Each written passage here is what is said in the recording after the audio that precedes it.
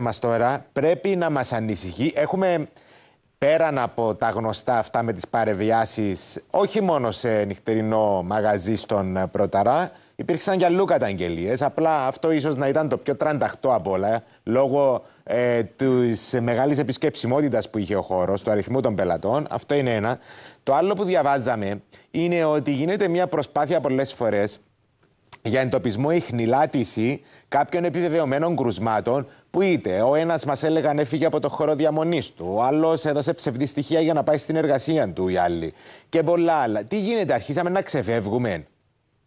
Ναι, νομίζω αυτό είναι απογοητευτικό. Ε, έχει γίνει μια τεράστια προσπάθεια για να ε, ελεγχθεί ο χώρος του πληθυσμού ε, όσον αφορά αυτό τον ιό και νομίζω ότι τώρα θα πρέπει να υπάρχει μια πολύ μεγάλη προσοχή, εγρήγορση και πολύ μεγάλη Ε, είναι εύκολο κάποιος ο οποίος είναι θετικός, αν αναμειγνύεται με τον κόσμο, είναι θέμα χρόνου πότε θα κολλήσει κάποιου. Και οι άνθρωποι που θα κολλήσουν, χωρίς να γνωρίζουν ότι εκτεθήκανε σε κάποιον που είναι θετικός, ναι. μέχρι να νοτήσουν και να εκδηλώσουν και αυτοί συμπτώματα, θα διαλάθουν τις διαγνώσεω και έτσι θα διασπείρουν τον ιό ε, στους ανθρώπους που συναλλάσσονται.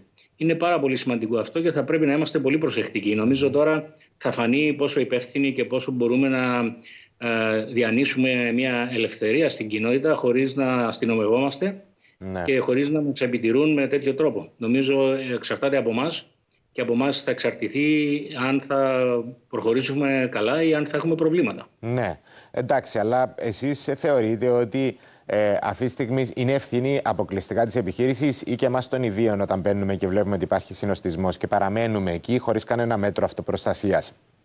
Είναι και των δύο και μάλιστα αφορά περισσότερο το άτομο.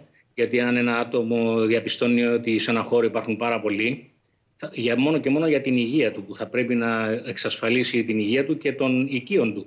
Γιατί μην ξεχνάτε τα νέα θα πάνε στο σπίτι, οι γονείς τους είναι μεσήλικες με μεγάλης ηλικίας. Θα ναι. δουν τους παππούδες, τις γιαγιάδες. Ε, εάν κολλήσει κάποιος και τα μεταδώσει στην οικογένεια, μπορεί να επέλθει θάνατος ακόμα. Δεν είναι τόσο απλά τα πράγματα. Δηλαδή, θα πρέπει να είμαστε πολύ προσεκτικοί και να σκεφτόμαστε με όριμο τρόπο. Θα πρέπει ο καθένας να φυλάσει τον εαυτό του, να φυλάσει τον πλησίον του, τον απέναντί του και φυσικά και οι επιχειρήσεις θα πρέπει να τον πάρουν σοβαρά. Δεν είναι ότι κλείσαμε ένα αρκετό διάστημα και τώρα θα βγάλουμε τη χασούρα. Η ναι. χασούρα θα βγει από του χρόνου.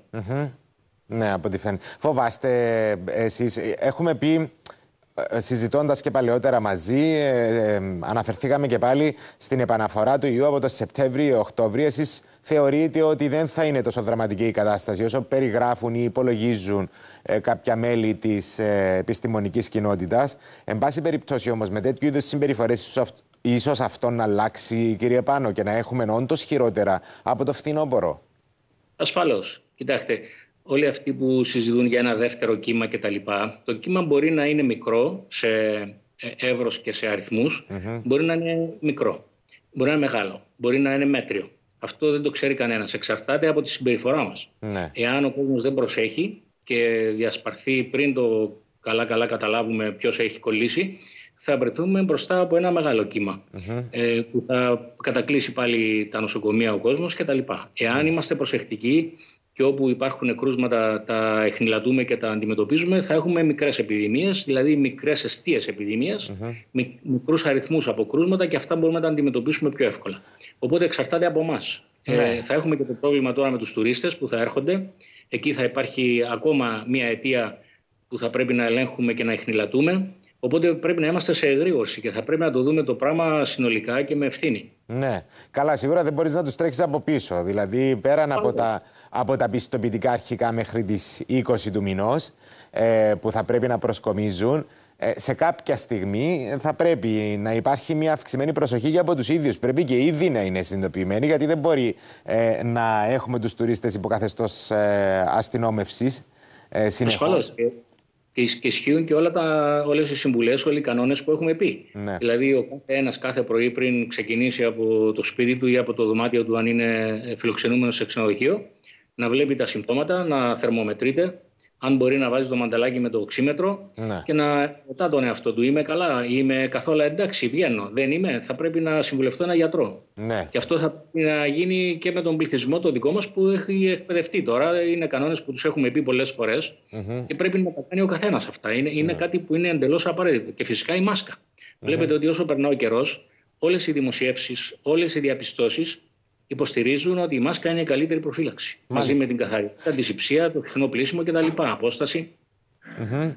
Κύριε Πανό, έχουμε την εντύπωση ότι αυτό που ίσως να επικρατεί ως αντίληψη και αναφέρουμε και πάλι στον ε, χώρο διασκεδάσεως στον Πρωταρά, αυτό που ίσως να επικρατεί λοιπόν ως αντίληψη μέσα ε, στην κοινωνία είναι ότι αν βρισκόμαστε σε ανοιχτό χώρο τώρα, ελαχιστοποιείται ή είναι μηδαμινή η πιθανότητα ε, για μετάδοση του ιού. Ε, είναι υπαίθριος χώρος, μεγάλος χώρος τώρα, είναι και πιο υψηλές οι θερμοκρασίες και έτσι μπορεί να υπάρχει και ένας ευρύτερος εφησυχασμός.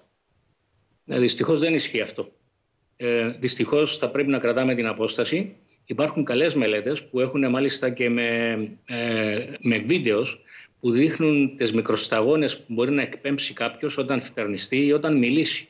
Και υπάρχουν μελέτες οι οποίες έχουν καταδείξει ότι ένας που μιλάει έντονα με δυνατή φωνή ή που τραγουδάει μπορεί να εκπέμψει στα γονίδια που περιέχουν τον ιό και να κρατηθεί στην περιοχή που ε, αναπνέει από 8 μέχρι 14 λεπτα Οπότε αυτό είναι κάτι που επιβεβαιώνει ότι ο ιός αυτός είναι ε, μεταφερόμενος με τον αέρα Ναι. και ότι χρειάζεται οπωσδήποτε να έχουμε την απόσταση των δύο μέτρων και οπωσδήποτε πρέπει να έχουμε ένα πολύ καλό αερισμό του χώρου. Ναι. Εάν λοιπόν κάποιος ε, αφήσει με την αναπνοή του ή με το δείξιμο του ε, στα γονίδια και περάσει κάποιος άλλος περαστικός και αναπνεύσει, μπορεί να κολλήσει. Και αυτά θα πρέπει να τα έχουμε πάντα υπόψη. Αυτή είναι η πραγματικότητα. Και Μάλιστα. πρέπει να δεχτούμε την πραγματικότητα και να μεριμνήσουμε ανάλογη συμπεριφορά να τηρήσουμε. Μάλιστα. Λοιπόν, κύριε Πάνο, να σας ευχαριστήσω πάρα πολύ για το χρόνο Έγινε. σας και την παρέμβαση. Να είστε καλά. Καλή Καλημέρα. συνέχεια. Καλή συνέχεια.